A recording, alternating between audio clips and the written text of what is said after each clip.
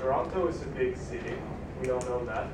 And if you are new here, you might feel overwhelmed with uh, all the places that you can visit. So today we are talking about Chinatown, which is a good option to start visiting Toronto. And we are going to be uh, telling you how to get to Chinatown, a little bit of the history of Chinatown, and some tourist tips. So first of all, uh, I'm going to tell you how to get to Chinatown with the help of Community Walk. Um, first, uh, we are in Embassy, Toronto, and we have to catch the subway. So for that, you can either walk downstairs here in the, in the building, or you can exit the building and turn left here. You can turn left, and in the intersection between Bay Street and Bloor Street, you turn left and get in the subway. And you enter the, the subway and go west until Spadina Station. And in Spadina Station, you have to get in the streetcar, like this. This is the new streetcar that you will be seeing in September. Click on the photo. Let's see the photo. Yeah, Sorry. it's really cool.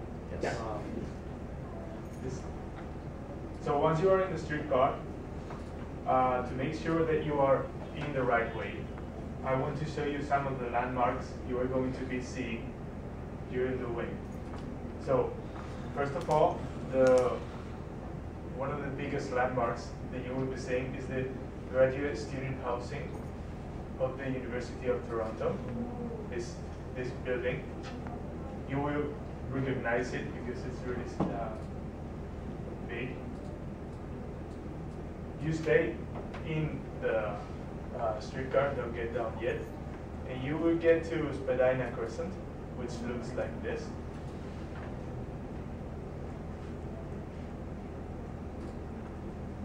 Like this. It's uh, in the middle of a round, and the streetcar uh, goes round the Spadina Crescent. It's like this. The streetcar goes uh, this way around Spadina Crescent. And you uh, stay on the streetcar and you have to get down in Dundas West station. And so when you see something like this, with these dragons, you are almost there. You have to get down there in the Dundas West station. And then when you get down the streetcar, you just have to walk a little, walk along Spadina Avenue, and then you'll be in Chinatown. So now that you know how to get to Chinatown, Jairo is going to tell you some of the history of this district. Thank you.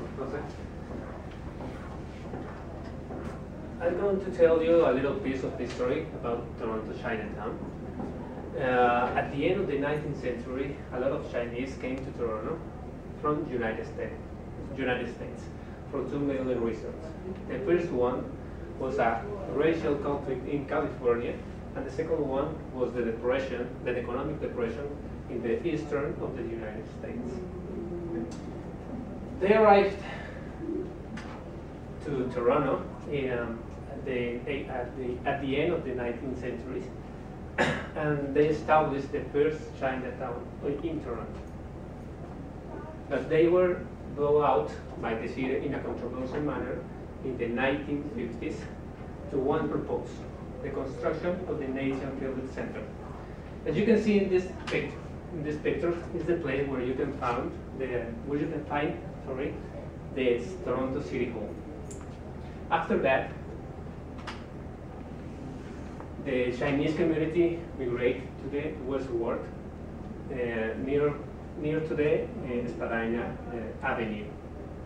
So that was the that was a formerly in Jewish district, Um, and today, Chinatown, Toronto Chinatown, is one of the largest Chinatown in North America. I'm going to tell, I'm going to leave you with Alexis, who will he will explain us uh, or show us uh, little places to to have fun in Toronto Chinatown.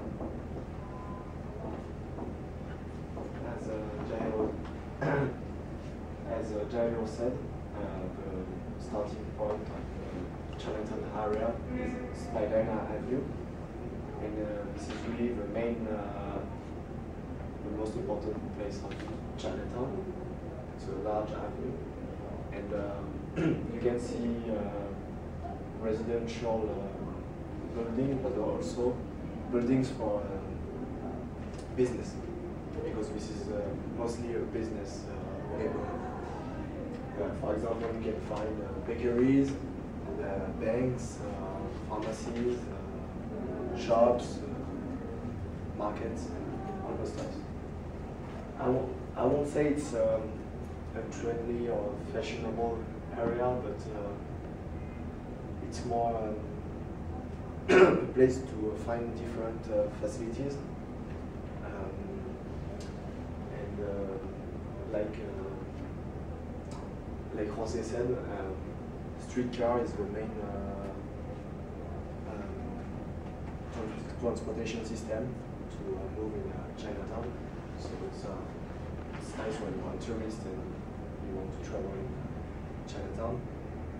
Um, but um, unfortunately, uh, S- Spadina Avenue in uh, Chinatown is not uh, nowadays populated by just Chinese people. Um, you have a lot of tourists, and mostly the people go there just for shopping or just for a walk. Um, but it's a good place if you want, uh, if, if you are hungry.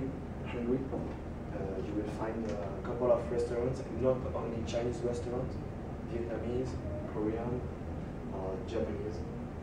So it's a good place for that. Uh, so this is the streetcar I told you. So now, uh, yeah, I would like to uh, talk about three main uh,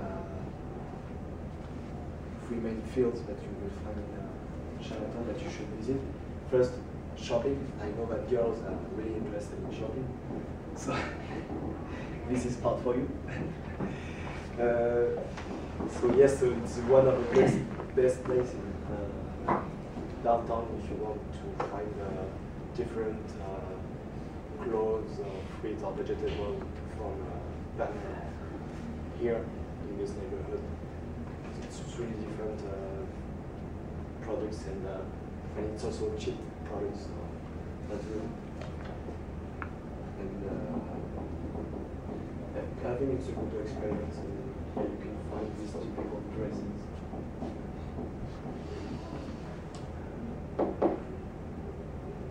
I also would like uh, to mention uh, the food because this is uh, also an important part.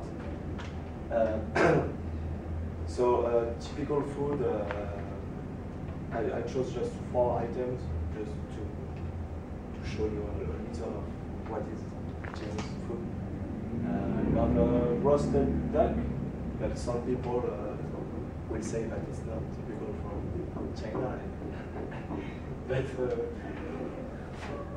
but it's uh, it's good if you don't want to uh, to be um, uh, uh, if you if you don't want any bad surprise, maybe choose uh, one because some people don't like Asian food and they are sick after, so they should.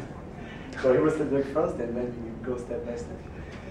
And uh, you can also find uh, yeah the, some street vendors in these pictures. Um, I think it's a, a good um, a good way to uh, to uh, eat quickly, and it's better than a burger. Or if you want to change, if you are sick of burgers or pizzas, you should try this street vendor.